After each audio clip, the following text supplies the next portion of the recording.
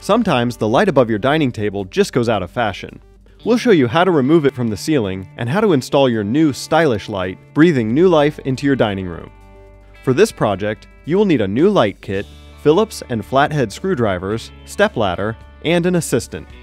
Many hanging lights have adjustable heights.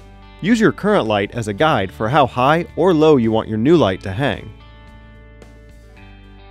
The first step is to assemble the fixture body, extension tubes, and canopy. Be sure to follow the manufacturer's assembly instructions. Next, we will disassemble the old light. Before this step, make sure to locate the correct circuit breaker and turn off power to the light. Test the light switch to confirm the power is off. Unscrew the canopy from the mounting plate. Disconnect the light's wires from the wires protruding from the junction box by unscrewing the wire nuts. While holding on to the light, remove it from the mounting plate. You can then remove the mounting plate from the junction box, removing the mounting screws. Install the new mounting plate from your new light kit.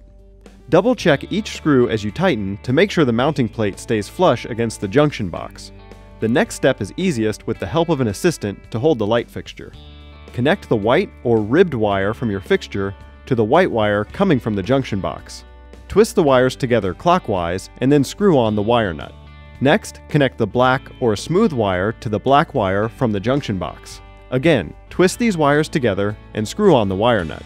Push all these connected wires into the junction box.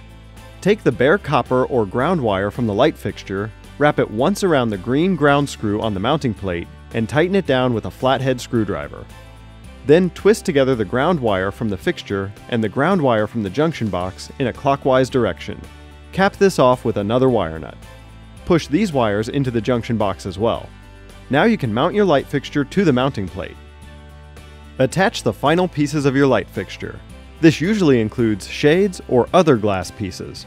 Install your light bulbs, turn the circuit breaker back on, and then test to make sure everything is in working order. Learn more about protecting your greatest investment at berryhart.com.